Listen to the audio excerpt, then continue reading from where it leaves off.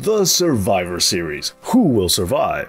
Well, sometimes the best way to survive is to dominate. And not surprising, but there are some teams that have definitely dominated more than others when it comes to WWE's annual November contest. Now, who are these teams that managed to survive by being the fittest? Well, they're the topic of this episode.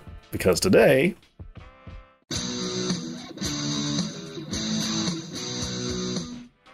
A big thank you to all of my wonderful Patreon supporters such as Inigo Montoya, Dakari Garment, and Rodney Harris. Thank all of you for the support as it really does mean a lot.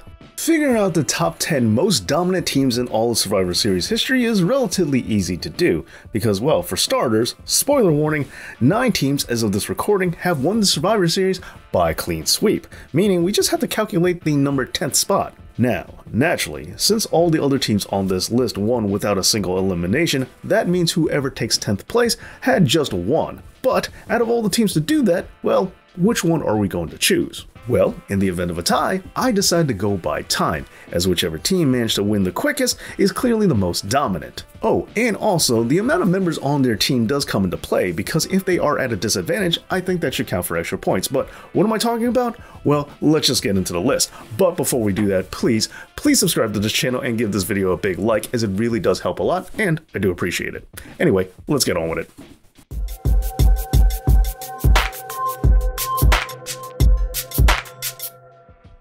1990 was an interesting year for Survivor Series, as this was the only time that the pay-per-view ever featured the grand finale match of Survival. This featured all of the previous survivors from all of the other team bouts throughout the night, all compiled together in one of two teams, babyfaces versus heels. Now the babyface team consisted of three wrestlers, Hulk Hogan, the Ultimate Warrior, and Tito Santana, and they went against the heel team of Ted DiBiase, Power and Glory, Paul Roma and Hercules, the Warlord, and the model Rick Martel. But enough about them for now, because we will be getting back to this team in just a little bit. But even though the odds were definitely stacked against the faces, the good guys still managed to come out on top, with only Tito Santana being eliminated. Furthermore, not only did Hogan and the Warrior come out victorious, but they also managed to do so in only 9 minutes and 7 seconds.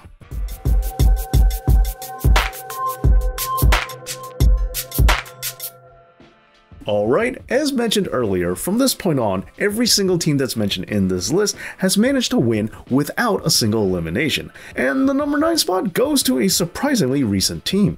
Last year, Braun Strowman, AJ Styles, Keith Lee, Matt Riddle, and Sheamus managed to defeat the team of Kevin Owens, Jey Uso, King Corbin, Seth Rollins, and Otis in 19 minutes and 25 seconds, clean sweeping the competition and giving the Red brand the W. You know, it is funny that with all this brand warfare stuff, whichever show is viewed as the B show tends to win at Survivor Series. And as soon as Fox paid a billion dollars for SmackDown, magically, Raw started winning more often.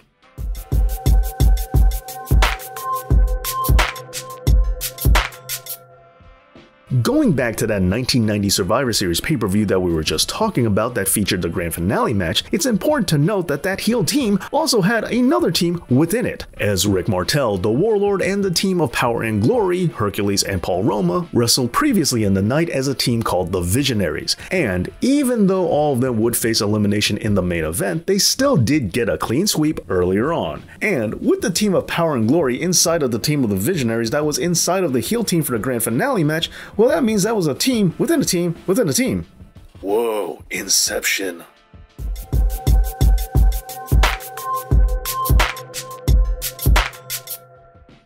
Now, if you've been thinking to yourself, so far all these teams have sounded amazing and I'm willing to bet the rest of them are going to be just as good, well, strap in because things are about to get a little surprising as here we have the Royal Family, a team consisting of Captain Jerry the King Lawler and his teammates Cheesy, Queasy, and Sleazy, who defeated the team of Clowns R Us, captained by Doink the Clown and his teammates Dink the Clown, Pink the Clown, and Wink the Clown. You see that? Even though Jerry Lawler can't win a single title in the WWF, at least he managed to win this match. That's, you know, just as good, right?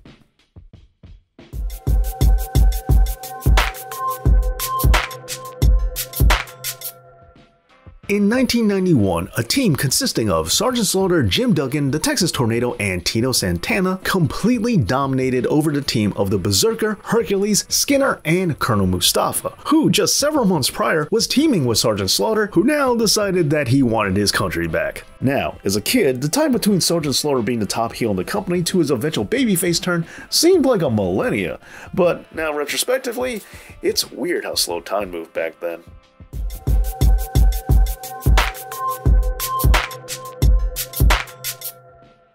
Now, if you were thinking that only the men got to be this dominant Survivor Series, well, you would be wrong. As the team of Alicia Fox, Emma, and Naomi, captained by Natalya, would defeat Paige, Cameron, Layla, and Summer Rae. And with Natty serving as team captain, of course she was going to lead her team to glory.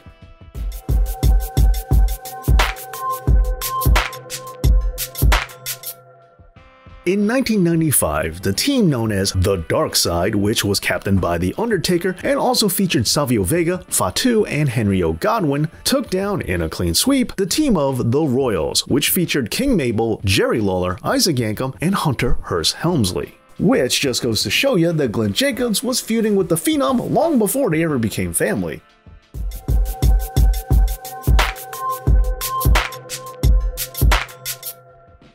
And in the third spot, we have the team of DX. This traditional 5 on 5 Survivor Series elimination match featured a team consisting of Shawn Michaels, Triple H, CM Punk, and Matt and Jeff Hardy, who defeated Rated RKO, which consisted of Edge, Randy Orton, Gregory Helms, Johnny Nitro, and Mike Knox. This clean sweep took 11 minutes and 30 seconds and happened back in 2006. Well, all I can say is at least CM Punk and the Hardy Boys were on this team. That makes it a little more manageable for me.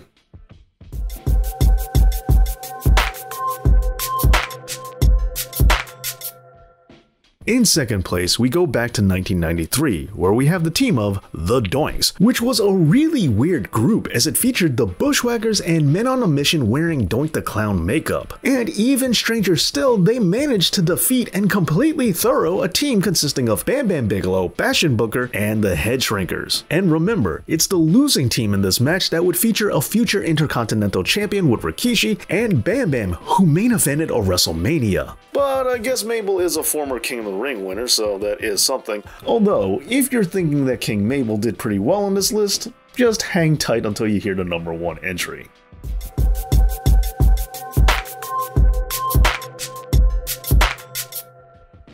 And finally, we go to the most dominant team in Survivor Series history, which surprisingly doesn't really go to a team at all as the Big Show acted as an army of one, taking on the Big Boss Man, Mideon, Prince Albert, and Viscera. Now originally, the Big Show was supposed to team with Kaientai, Funaki, and Taka Michinoku, as well as the Blue Meanie. However, before the event, the Big Show attacked all of his teammates and made it down to the ring by himself. But this didn't seem to hinder him at all, as in less than a minute, he took down Mideon, Prince Albert, and Viscera, and upon seeing this, the Big Boss Man would hightail it and get counted out, giving the Big Show a clean sweep all all by himself in only 1 minute and 26 seconds, easily giving him the top spot on this list. Well, there you go, the top 10 most dominant teams in all of Survivor Series history. Which one of these is your favorite? Let me know down in the comments. And please, again, make sure that you're subscribed to this channel and that you give this video a big like. Thank you so much for watching, and as always, Dave knows.